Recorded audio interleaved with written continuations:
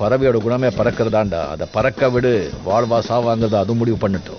வணக்கம் நண்பர்களே. Welcome to info tip Tamil இந்த வீடியோவில் தமிழ்நேரில் பார்த்த மாதிரி பிரீடிங் டிப்ஸ் தான் சொல்ல போகிறேன் ஆல்ரெடி நம்மளோட சேனலில் பிரீடிங் ஃபுட் அப்படின்னு சொல்லிட்டு ஒன்று போட்டிருப்பேன். அந்த வீடியோ பார்த்ததுக்கப்புறம் சில பேர் வந்து அதை ட்ரை பண்ணியிருப்பீங்கன்னு நம்புகிறேன் அதை ட்ரை பண்ணிவிட்டு ஒன் வீக் டென் டேஸ்லாம் பார்த்துட்டு என்னடா ப்ரீட் ஆகலை? இவன் சொன்னானே அயோக்கிய பைய பொய்யகிய சொல்லிட்டானா அப்படின்னு என்ன சில பேர் திட்டிருப்பீங்க ஆனால் நீங்கள் அதுக்கு முன்னாடி நான் பண்ண மிஸ்டேக் மாதிரி நீங்களும் பண்ணியிருக்கிறதுக்கு வாய்ப்பு இருக்குது ஸோ இந்த வீடியோ ஃபுல்லாக பாருங்கள் அந்த மிஸ்டேக் அவாய்ட் பண்ணிவிட்டு அந்த ஃபுட்டும் கொடுங்க. கண்டிப்பாக ப்ரீட் ஆகும். ஸோ பொதுவாக நம்ம பேர்ட்ஸ் வாங்கினதுக்கப்புறம் எப்படா ப்ரீட் ஆகும் எப்படா குஞ்சு பறிக்கும் அப்படின்னு சொல்லிட்டு ஒரு ஆவல் எல்லாருக்குமே இருக்கும். அதுக்கு நம்ம பண்ண வேண்டியது என்ன? எப்படி வந்து சக்ஸஸ்ஃபுல்லாக ப்ரீட் பண்ணி சிக்ஸ் எடுக்கிறது அப்படிங்கிறதுக்கு முதல்ல நீங்கள் செய்ய வேண்டியது கரெக்டான பேரை சூஸ் பண்ணுறது கரெக்டான பேர்னா ஒரு ரெண்டு பேர்டை வந்து தூக்கி போட்டு அது கொஞ்சிக்கிட்டு இருக்கும். அதை வந்து கரெக்டான பேர் அப்படின்னு நினச்சி நீங்கள் போட்டுறக்கூடாது. ஏன்னா ஃபீமேலும் ஃபீமேலும் கூட கொஞ்சிக்கும்.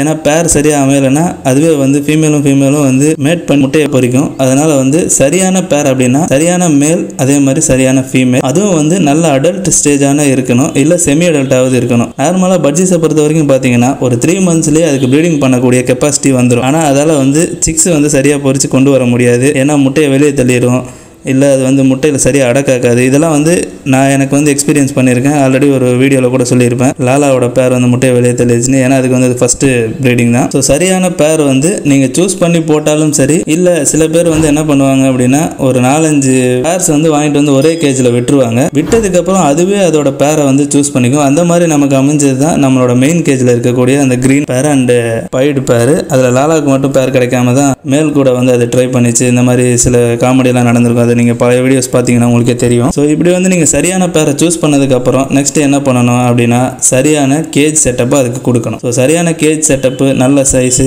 அதுக்கப்புறம் முக்கியமான ஒன்று சரியான லொக்கேஷனில் ஃபிக்ஸ் பண்ணணும். நிறைய வீடியோஸில் வந்து சொல்லுவாங்க நீங்கள் வந்து தனியாக வைக்கணும் அதுக்கு வந்து டிஸ்டர்ப் இருக்கக்கூடாது அந்த மாதிரிலாம் இருந்தால் தான் அது ப்ரீட் ஆகும் அப்படின்னு சொல்லியிருக்காங்க. ஆனால் என்னோட எக்ஸ்பீரியன்ஸில் நான் என்ன சொல்கிறேன்னா பட்ஜிஸை பொறுத்த வரைக்கும் பார்த்தீங்கன்னா எங்கே வச்சாலும் அது சீக்கிரமாக அடாப்ட் ஆகிடும் ஆனால் ஒரு சில பட்ஜிஸ் மட்டும் அந்த லொக்கேஷன் சரியாக இல்லைன்னா அது வந்து மேட் ஆகாது ப்ரீட் ஆகாது பேர் மட்டும் ஆகிடும் ஆனால் எக் வைக்கிறதுக்கு ரொம்பவே பயப்படும். சில பேர் என்ன பண்ணணும் அப்படின்னா அதுக்கு வந்து நம்ம எல்லாருமே பழகிட்டோம் அப்படின்னா அது வந்து நீங்கள் ஹாலில் வச்சா கூட பாட் கட்டிங்கன்னா அது மாதிரி முட்டை போட்டு குஞ்சு பறிச்சிடும் அந்த மாதிரி வந்து நமக்கு ஒரு பேர் ஆகிருக்கு அதை நான் வந்து நம்மளோட வீக்லி அப்டேட்டில் சொல்கிறேன் ஸோ கேஜ் ப்ரொவைட் பண்ணிட்டீங்க. நல்ல ஒரு பேர் வந்து செட் பண்ணிட்டீங்க. அதுக்கப்புறம் என்ன பண்ணணும் அப்படின்னா அது நல்ல பேர் ஆனதுக்கப்புறம் பாட்டோ இல்லை ப்ரீடிங் பாக்ஸோ அதுக்கு வந்து செட் பண்ணணும். ப்ரீடிங் பாக்ஸை விட பாட்டு கட்டினீங்கன்னா நல்ல ரிசல்ட் கிடைக்கும். ஏன்னா ப்ரீடிங் பாக்ஸ் பற்றி எனக்கு ஐடியா இல்லை. பட் நான் பார்த்த வரைக்கும் நல்ல ரிசல்ட் கொடுக்குது. ஸோ இது ரெண்டுத்துக்கும் அப்புறம் முக்கியமானது வந்து ஃபுட்டு ஸோ இங்கே தான் நீங்கள் வந்து நான் சொன்ன அந்த ப்ரீடிங் ஃபுட்டு கொடுக்கணும். அது இல்லாமல் ஹெல்த்தி ஃபுட் அதுக்கு வந்து நல்லா ப்ரொவைட் பண்ணணும். அதுக்கு வந்து அந்த மேட்டிங் சென்ஸை கிரியேட் பண்ணுற மாதிரியான சில உணவுகள்லாம் இருக்குது அதெல்லாம் கொடுத்தீங்கன்னா நல்லா சீக்கிரமாகவே மேட்டிங் பண்ணுறதுக்கு வாய்ப்புகள் இருக்குது முக்கியமாக வந்து வெறும் சீட் மிக்ஸு தினம் மட்டும் வந்து அதுக்கு நல்ல ஹெல்த்தியாக இருக்காது. க்ரீன்ஸ் கொடுக்கலாம் ஆப்பிள் எக்கு கால்சியம் முக்கியமாக அங்கே இருக்கணும் கண்டிப்பாக கால்சியம் இல்லைன்னா கண்டிப்பாக அது வந்து எக் வைக்காது. ஏன்னா கால்சியம் நீங்கள் கொடுக்கும்போது தான் அதோட எக்ஸெல்லாம் எல்லாம் வந்து நல்லா ஸ்ட்ராங் ஆகும். அதுக்கப்புறமா தான் அதுக்கே வந்து எக்கு லே பண்ணக்கூடிய தைரியமும் வரும். அதனால வந்து நீங்கள் என்ன பண்ணலாம்னா கால்சியம் பிளாக்ஸ் வந்து ப்ரொவைட் பண்ணலாம். இல்லை கட்டல் ஃபிஷ் போன் இதெல்லாம் வந்து நீங்கள் ப்ரொவைட் பண்ணலாம். இதெல்லாம் வந்து நான் முன்னாடி வீடியோஸ்லேயே சொல்லியிருப்பேன். ஸோ முக்கியமானது ஒன்று கால்சியம் ஸோ இதெல்லாம் பண்ணிட்டீங்க.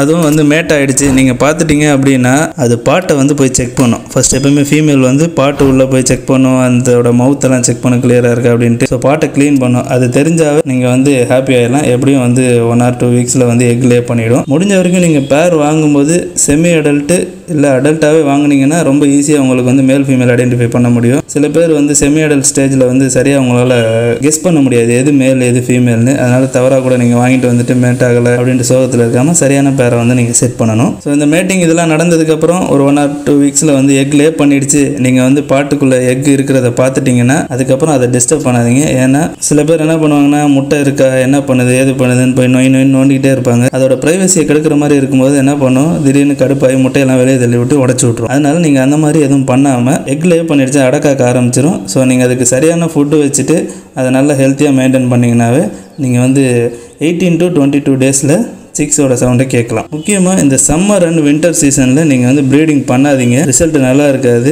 பிகாஸ் சம்மர் சீசனில் வந்து ரொம்ப ஹீட்டு அது பாவம் முட்டை விடும்போது அதுக்கும் ரொம்ப இதுவாக இருக்கும். அதனால் அதை அவாய்ட் பண்ணுங்கள் வின்டர் சீசனில் வந்து சரியான ஹீட் கிடைக்காது. அதனால் வந்து ரிசல்ட் சரியாக இருக்காது. அதே மாதிரி சில பேர் வந்து கண்டினியூஸாக ப்ரீட் பண்ணிக்கிட்டே இருக்கும். ஸோ அதை விட்டுருவாங்க அப்படியே. அந்த மாதிரி பண்ணிங்கன்னா உங்களோட பேர்ட்ஸ் வந்து ரொம்ப வீக் ஆகிடும் ஸோ ப்ரீடிங்கில் முக்கியமாக நீங்கள் இதை வந்து கண்டிப்பாக ஃபாலோ பண்ணணும். கண்டினியூஸ் ப்ரீடிங் அவாய்ட் பண்ணிடுங்க. கண்டிப்பாக பேர்ட்ஸுக்கு வந்து ரெஸ்ட் கொடுக்கணும். அட்லீஸ்ட் டென் டேஸாவது ரெஸ்ட் கொடுங்க. சப்போஸ் இது எல்லாமே பண்ணிட்டீங்க எக் லே பண்ணலை எல்லா பேர்லாம் கரெக்டாக தான் இருக்குது என்னடா இது மேட் ஆகலை அப்படின்ற மாதிரி நீங்கள் ஃபீல் பண்ணீங்கன்னா அந்த பேரை நல்லா வாட்ச் பண்ணுங்கள் ஏன்னா சம்டைம்ஸ் என்ன ஆகும் அப்படின்னா ஃபீமேலோட ஏஜ் அதிகமாகவும் மேலோட ஏஜ் கம்மியாகவும் இருந்தால் ஃபீமேல் மேட் பண்ண விடாது. கொத்தி அதை போட்டு கூட தள்ளுறதுக்கு வாய்ப்பு இருக்குது ஏன்னா அந்த மாதிரி எனக்கு எக்ஸ்பீரியன்ஸ் இருக்குது நான் ஃபீமேல் ஏஜ் அதிகமாகவும் ஏஜ் கம்மியான ஒரு மேலும் போட்டிருக்கேன். கொத்தி தலைகளெல்லாம் பிச்சிருச்சு. அதனால் அந்த மாதிரி இருக்கா அப்படிங்கிறத நீங்கள் பார்க்கணும். அந்த மாதிரி இருக்குது அப்படின்னா நீங்கள் சரியான ஏஜ் லெவலில் போட்டுருங்க. இந்த மாதிரி மிஸ்டேக்ஸ் எங்கே நடக்கும் அப்படின்னா நீங்கள் பெட் ஷாப்பில் பேர்ட்ஸ் வாங்கும்போது சரி சரியாக உங்களுக்கு நாலேஜ் இல்லைன்னா ஏதாவது ரெண்டு பிடிச்சி கொடுத்துருவாங்க மேல் ஃபீமேல் பிடிச்சி கொடுத்துருவாங்க. ஏஜ் லெவல்லாம் உங்களுக்கும் பார்க்க தெரியாது. அவங்களும் அதெல்லாம் பார்க்க மாட்டாங்க. ஆனால் நீங்கள் ப்ரீடர்ஸ் கிட்ட வாங்கும்போது கரெக்டான ஏஜில் ஏன்னா அவங்க எல்லாமே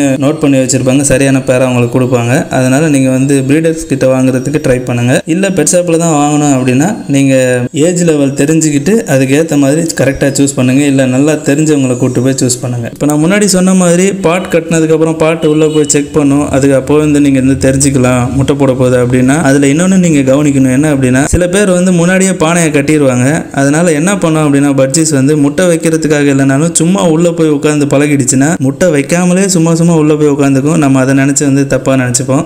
முட்டை போட போகுதுன்னு. அதனால் சரியான நேரத்தில் நீங்கள் வந்து பாட்டையோ இல்லை ப்ரீடிங் பாக்ஸோ ஃபிக்ஸ் பண்ணணும். அப்போ தான் வந்து அது சரியாக செக் பண்ணி சரியாக வந்து முட்டை வைக்கிறதுக்கு வாய்ப்புகள் இருக்கும். இன்னொரு பாயிண்ட் என்ன அப்படின்னா பேர்ட்ஸ் வந்து ப்ரெக்னென்ட் ஆகிடுச்சு அப்படின்றது உங்களுக்கு தெரிஞ்சுக்கணும் அப்படின்னா நீங்கள் வந்து பேர்ட்ஸோட பேக் சைடு பார்த்தீங்கன்னா ஃபீமேல் பேர்ட்ஸோட பேக் சைடு பார்த்தீங்கன்னா கொஞ்சம் பல்ஜாக இருக்கும். அதை வச்சு நீங்கள் தெரிஞ்சுக்கலாம். எக் ஃபார்மாக இருந்தாலே அதோட பேக் சைடு வந்து பல்ஜாக இருக்கும். அதே மாதிரி அதோட டெய்ல் வந்து அப்பப்போ ஷேக் பண்ணிக்கிட்டே இருக்கும். முட்டை வைக்க போகுது அப்படின்ற மாதிரி வந்து அறிகுறி இருந்ததுன்னா டெய்ல் வந்து ஷேக் ஆகும். அந்த ஏரியா வந்து பல்ஜாக இருக்கும். ஸோ இதை வச்சு நீங்கள் அது ப்ரெக்னெண்ட்டாக இருக்குன்றதை கண்டுபிடிச்சிடலாம். ஸோ சொன்ன டிப்ஸை வந்து ஃபுல்லாக பார்த்தவங்க கண்டிப்பாக ஃபாலோ பண்ணுங்கள் கண்டிப்பாக நீங்களும் வந்து ப்ரீட் பண்ணி சிக்ஸ் எடுக்கலாம். வீடியோ ஃபுல்லாக பார்த்தவங்க தயவு செஞ்சு கொஞ்சம் சப்ஸ்கிரைப் பண்ணி சப்போர்ட் பண்ணுங்கள் அப்போ தான் எனக்கும் வந்து அடுத்தடுத்த வீடியோஸ்லாம் போடுறதுக்கு இன்ட்ரெஸ்ட் வரும். அடுத்த ஒரு நல்ல வீடியோட சந்திப்போம். தேங்க்ஸ் ஃபார் வாட்சிங் உள்ளே இருக்கிறது எவ்வளோ கஷ்டம் தெரியுமா?